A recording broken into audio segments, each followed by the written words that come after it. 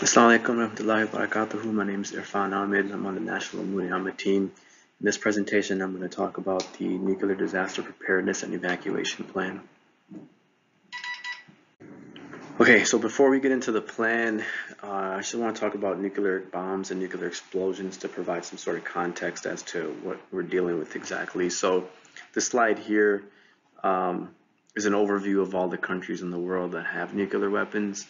And as you can see, the US and Russia lead the world um, in terms of both active and inactive weapons. So an important thing to note here is that the US and Russia are the only two countries that have uh, deployed warheads, meaning that they're installed on missiles or on bases and they're ready to go, whereas the rest of the world has warheads that are um, assigned to, uh, they're, they're in inventory and they're assigned for potential use. They might not be ready to go. So another important thing to note is the number of warheads that uh, the US and Russia have that are retired. So this means that these weapons, they still pose a threat. Um, they still require safe handling, storage, and they still need to be secured while they sit in storage. Uh, the U.S. keeps warheads all over the all over the world, as you see on the slide here. So all in all, uh, there's a lot of nuclear warheads, uh, both active and inactive, retired. They're ready and on standby, uh, ready or on standby, and they're sprinkled all over the world. So in order to prep for a nuclear explosion, uh, we need to understand what exactly happens during a nuclear explosion. So it consists of three main parts. There's the, uh, the thermal portion of it, thermal radiation, there's the, the blast or the overpressure, and there's the fallout. Uh, the release of thermal energy in a nuclear explosion, that's the main difference between a nuclear explosion and a conventional explosion. In a conventional explosion, you'd have majority of the energy just being uh, the blast and very little, almost none being a thermal portion. So the flash is the first thing you'd see during a nuclear explosion. Um, this is followed by that thermal radiation traveling at the speed of light. So this release of thermal energy uh, will burn your eyes, will burn your skin, as well as any combustible materials that, it's, that are in the way. So think of it in, uh, so imagine a, a, wave of energy that just burns everything that, that it crosses. So after that, you've got the blast, or the shock wave. So roughly half of the energy in a nuclear explosion is the blast. Um, it travels at the speed of sound. The units for measuring the blast are in um, psi of overpressure. So, so about 5 psi of overpressure is enough to level a house. So now imagine a wave of energy that can level anything in its path.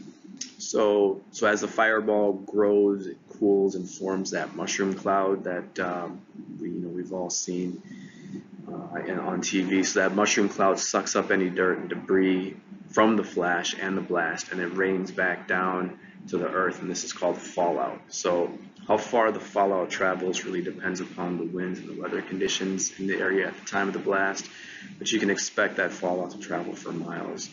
So the radio, the, the, the, the material in the fallout is radioactive, and depending upon how much your body is exposed to that material, it's going to depend. It's going to determine how damaging that fallout is going to be to your health. So EMPs, EMPs are the first thing that happens during a, uh, a nuclear explosion. They're hard to understand. So I'm going to try to understand it the way that I understand how an EMP works. So think of it similar to a lightning strike. So a lightning strike basically is a spike in voltage caused by positive and negative charges in the atmosphere. But in, in this case, uh, these charges separate and that creates an electric field uh, in the atmosphere. And then that field couples in with the Earth's magnetic field. And then this electromagnetic field then radiates into electrical circuits creating an electrical current. And so depending upon the design of the electrical components, um, depending upon the design of those components, it'll be able to handle that um, surge or it won't. And so it'll potentially, EMP will potentially damage uh, electrical components, which could you know, essentially cripple all your communications and everything electrical, electrical components even before um, you know, you'd have a chance to, to react to it. All right, so this next slide shows a comparison of different bomb types. And so Reuters did an article a while ago about how powerful the Beirut blast was. So if you recall, the Beirut blast was a chemical fertilizer explosion. So it was chemical fertilizer that was being improperly stored and then exploded. So they show the explosion uh, yield in tons of TNT. So it's interesting when you compare well-known conventional explosions like the Hellfire or the Tomahawk missiles to nuclear explosions like Chernobyl or Hiroshima. So whereas uh, a Tomahawk missile is the equivalent of half a ton of TNT, Chernobyl was the equivalent of 10 tons of TNT, and Hiroshima was the equivalent of 15 kilotons or 15,000 tons of TNT. So the next chart shows uh, the comparison of nuclear explosions. So now you can see that the numbers get much bigger. So as we saw the jump from Chernobyl of 10 tons to Hiroshima of 15,000 tons, now look at Hiroshima compared, compared to Tsar Bomba. So you're looking at 15 kiloton explosion compared to 50 megaton explosion. So Tsar Bomba was the largest ever nuclear explosion in history. It was conducted by the Soviet Union in the early 60s to show off their nuclear capabilities. But if you look at the size of that mushroom cloud, it's 59 miles wide, it's 42 miles up in the sky. Uh, the last image here is the nuke map. So uh, you can go to this website and um, it shows you how far a nuclear explosion would travel. So you can set certain parameters like the location, you can do a pin drop, set the location, the size of the explosion, the burst type, and you can see how far the effects would travel. So it shows you how far the flash, the, sh the, the shock wave, and the fallout would travel. So in this case, I placed Tsar Bomba in the heart of downtown Chicago, so in the loop. And then you can see how far the effects of the, uh, the flash, the shock wave, and the fallout how far they reached. And so in this case, they you know they go all the way up to Zion, which is about an hour or about 50 miles away from downtown Chicago. Okay, so on this next slide here, uh, you can find this PDF uh, at ready.gov. It's a good PDF, but I don't fully agree with everything it says. It gives you the impression that um, you can survive a nuclear event. Ultimately, your survival is going to depend upon how close you are to the epicenter and how much notice you have and how you know how much notice you have to take cover uh, or to evacuate. So depending upon where you are relative to where the explosion happened, you might not be able to do anything at all. So you might die along with thousands of other people. So, but let's break it down and see what you can do. Um, so the EMP, uh, the EMP has no effect on the human body. So in my opinion, it's not a huge factor. Yes, it'll affect, it'll cripple electrical devices, but uh, I mean, you should already be expecting that to happen. So for the for the remaining three, the best case scenario is that you get into a concrete structure underground. So this way you won't be affected by the thermal energy of the flash or the destruction, the shock wave, or even the harmful radiation from the fallout. But nevertheless, uh, try to take cover the best you can. Look for concrete structures uh, or bricks since they will protect you from that thermal energy during the flash and they can protect you better than a wooden structure from the shock wave. Um, a wooden structure has the potential of catching fire from that thermal uh, energy, from that release of thermal energy, and it can't withstand as much um, overpressure as a masonry structure. So you basically want to get to the center of the building, get away from any windows.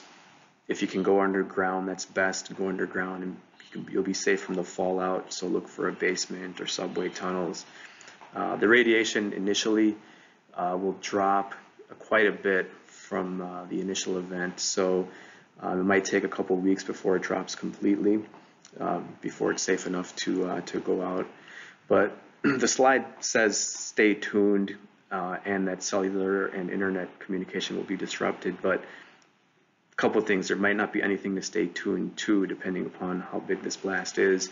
And you can pretty much guarantee that you, you won't be able to rely, rely on any cellular or internet communication if something like this was to happen. So like I said in our last call, um, in the event of a nuclear explosion, all bets are off. Your plans are all going to change. So it's best that you, you plan and you have a, a backup plan for your backup plan. Okay, so the next slide here uh, we talk about the uh, supply list items, supply list and items. So there's many lists that are out there. Um, everyone has a list. Abu Dhabi's got one. The Red Cross, FEMA. All these lists are very much the same. They all have something for food, water, for shelter, first aid, personal hygiene. And for the most part, you can buy all these items online. The point isn't to get stuck looking for the purpose, perfect list with all the Amazon links to, for easy ordering. The point is find a list and start stocking up. Stock up your shelter in place items, stock up your go bag items. Now the nuclear specific items are going to be something like a radiation tester or a Geiger counter. So this is a device that measures radiation levels so you know um, if an area is, has unsafe uh, levels of radiation. Potassium iodine pills are used uh, to give your thyroid a, bo a, boost, so your thyroid is very susceptible to the effects of radiation. And then the anti-radiation homeopathy pills that Hazur has suggested, um, these should also be in your um, in your kit. These will help protect against the ill effects of radiation. Now, hazmat suit, I, I, didn't put a hazmat suit in this list because I, they don't provide any protection against radiation. So no matter how airtight the suit is, the radiation is going to penetrate it unless if the suit's made of lead. So the best thing to, to do would be is to measure the radiation with the Geiger counter and then avoid areas with high radiation. Now, I've never used a Geiger counter before, so if anyone who's watching this has used one, uh, please share the, the knowledge and let us know. Uh, the important thing is, is that we should stick together as a community, work as a team, share information, because we're obviously we're stronger in numbers. Um, ask questions, do your own research, even question the information I'm giving you today. And if you've got a better idea, feel free to share, but don't share any uh, misleading information or any unverified information. So think before you um, share anything or forward anything out. So the, evac uh, the evacuation plan um, the plan is basically to evacuate a group of people to a remote location. That's essentially what we're trying to do. So in the perfect world, we'd have ample notice, we'd have clear instructions on where to go, when to go, um, but it's never going to be that clear, and you're just going to have to uh, improvise along the way. So to start out, start building it. Uh, so, so, so to start building your plan, uh, first, identify any land that your might might have your, your Jamaat might have access to. This could be land that your Jamaat members might have, or you could identify some potential public lands where you could evacuate to. Next, you want to identify members in your Jamaat who have experience with evacuating. So, there's any members who have evacuated or fled their homes due to civil war, civil unrest, um, you know, members who might know how to camp, hunt, or fish members who are mechanically inclined, uh, people who can administer medical aid, people who can cook, people who can build things. I mean, the more diverse your team is, the stronger it's going to be. And, you know, we're stronger in numbers. So, but once you've got the land identified and your team identified, we need to execute a dry run. So evacuate to the land, see what worked, see what didn't work, make changes as needed. Um, get out of the habit of communicating on your cell phones. Use CB radios, ham radios, two-way radios. Um, use your car as a shelter. Keep the car fueled up. Um, encourage members to build their own survival kits, um, per, you know, their own personal kits in their own houses. So the, uh, the, the Amuriama evacuation plan should just be one part, uh, one, uh, one, one layer of the disaster prep, prep plans that you already have. And depending on the emergency, you'd use a different plan. So this is a plan you could use not only for a nuclear evacuation, but for any evacuation. This plan could be used for evacuation during a civil war, civil unrest, trying to evacuate any unsafe condition. You know, what we, what we see happening in Gaza is nothing new. Um, you know, people being forced to evacuate has happened throughout history where people are forced to leave, flee due to war. Um, and it can happen anywhere in the world. Just because we're in the United States doesn't mean we're safe. Again, don't put all your eggs in one basket. Have a backup plan for your backup plan. And this concludes the presentation. Assalamu alaikum